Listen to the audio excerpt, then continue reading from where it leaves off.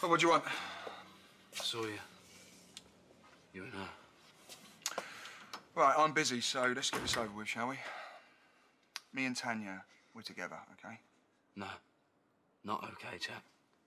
I knew there was something going on, but you lied, didn't you? Why'd you keep doing this? I mean, surely you know you don't stand a chance with Tanya. Or what, you just like banging your head against the wall, do you? it's been over a long time, Sean. Right, you can't get over it, you need help. All right, professional help. What about Roxy? She's pregnant, is she, with your kid? Surely you should be chasing her. I mean, she's the real deal. They won't tell me where she is, Jack.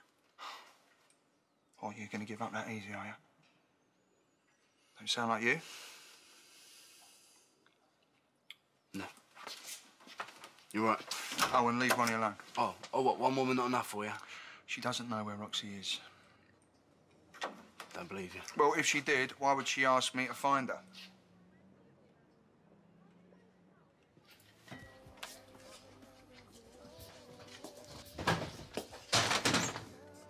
Want to play a game of cat and mouse with me? That's fine. This is private property. Well, what are you going to do? Call the police? I have got nothing to say to you. No, I believe you. Just had an interesting chat with your ex. Reckons Roxy's blown you out. What, she finally see the light? Did she manage to unhook your little claws? You don't know anything. I know this. When she gets back, she will. I'll be waiting.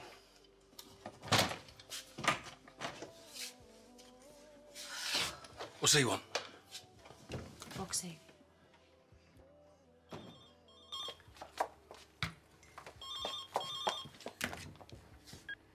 Hello? Look, I told you not to call me here. I'll call you back. Oh, and what's this? Round two? No, I called him. Was that Roxy? No, darling, wrong number, sorry.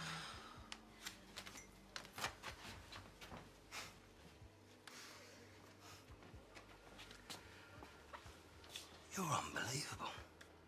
You don't even flinch, do you? What? I heard you. It wasn't a wrong number, was it?